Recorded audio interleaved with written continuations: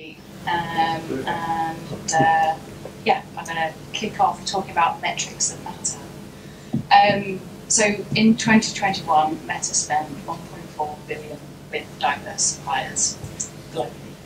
That's over a third of our supply diversity spend since we launched the program in 2016. Since then, we have been inducted to the Billion Dollar Roundtable, which means that we're committed to spending a billion dollars with diverse businesses every year now on.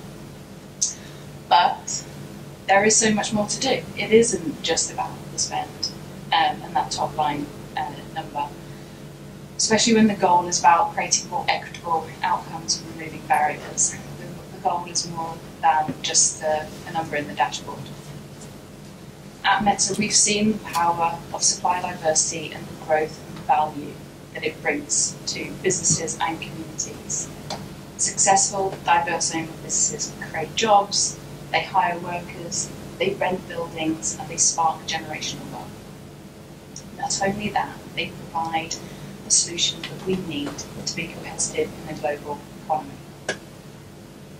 In the past, biodiversity was about opening doors for underrepresented businesses, but now we need to do more.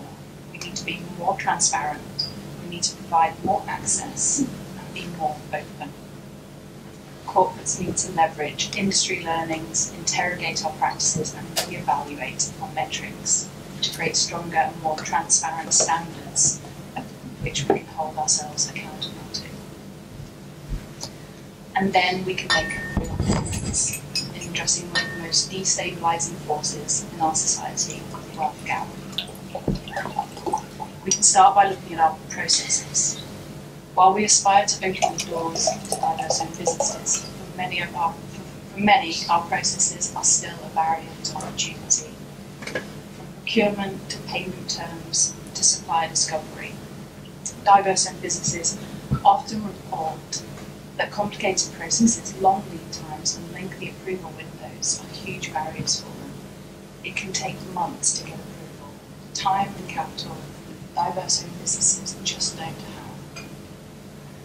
At Meta, goods and services is highly decentralised, so we've got many doors that suppliers can knock on and enter our procurement process, and moving fast is always a priority for us.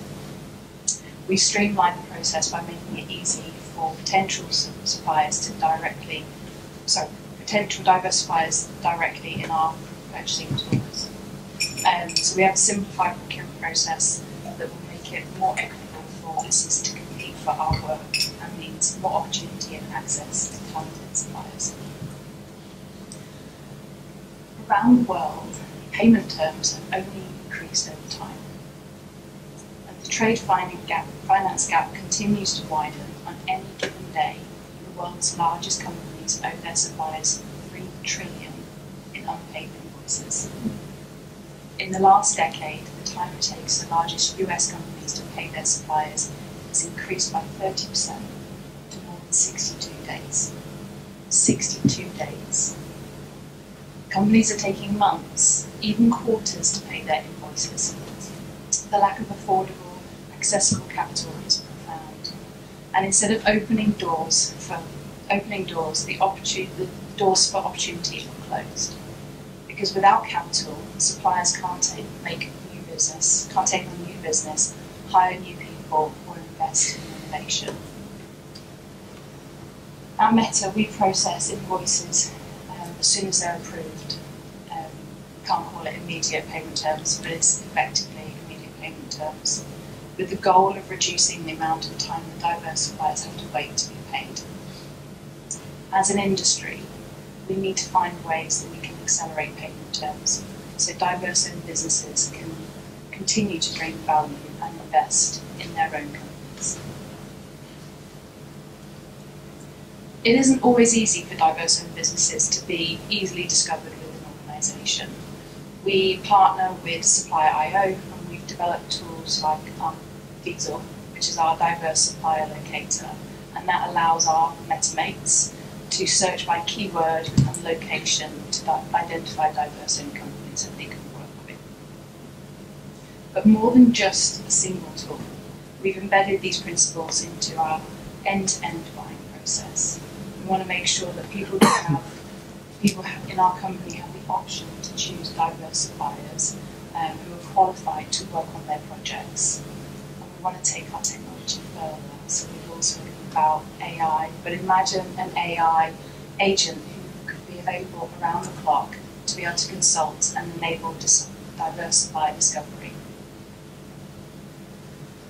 But we need to be intentional about creating connections between diverse businesses, customers, and industries.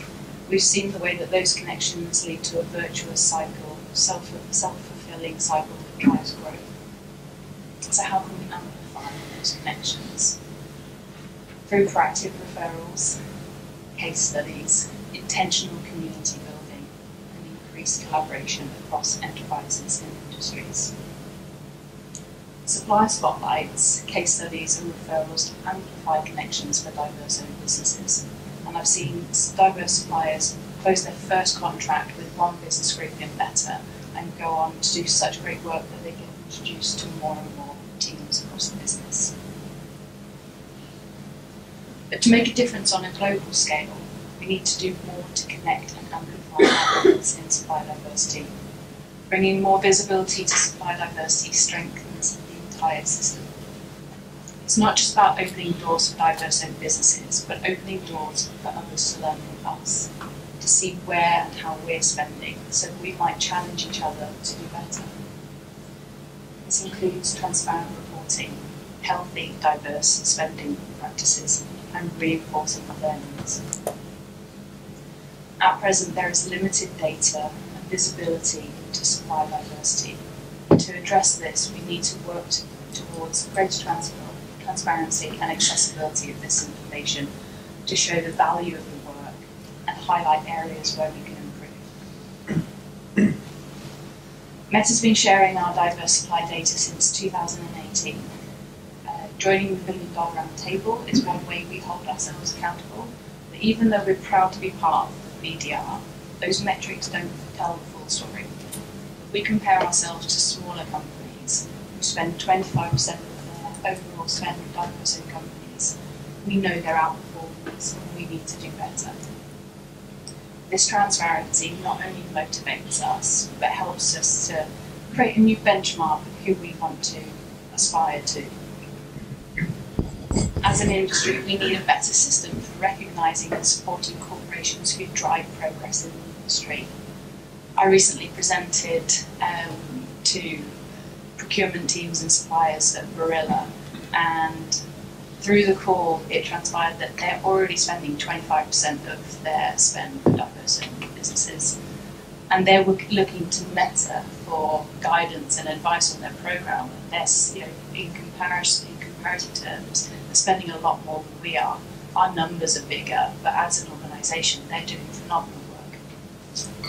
It's not about the big companies with the huge spending. It's about recognising corporates for the right reasons. Do companies have distributed spend? Are suppliers growing with them? Are they growing the percentage of spend as well as the total spend? And are new suppliers joining the supply chain? growth and expansion alone isn't the end goal. As an industry, we can only make an impact if we do it responsibly. And now is our opportunity to embed our values into our metrics and shape the future of this industry. By doing so, we can create more equitable outcomes, transform disempowering systems, and establish durable, sustainable practices that have